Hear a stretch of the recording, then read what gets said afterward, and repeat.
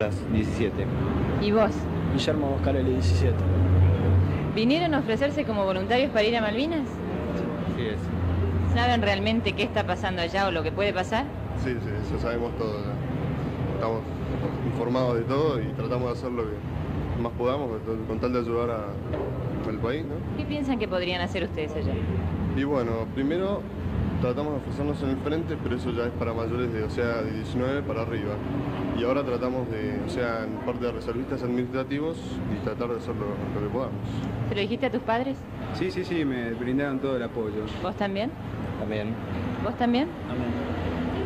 ¿Cuánto tiempo se quedarían en Malvinas? Lo que sea necesario. Felicitaciones, chicos. Clave que nosotros los jóvenes también nos cuidemos. Nadie es más piola por no usar el barbijo en la calle o por ponérselo mal. Los pibes, las pibas, les pibis podemos ser parte de enfrentar esta pandemia, pero no vamos a poder ser protagonistas del mañana si no tenemos un lugar desde ahora. Participando en el presente para construir el futuro que se viene, hoy las juventudes nos hacen... Ahí está, viva Perón, viva Perón. ¡Viva Perón!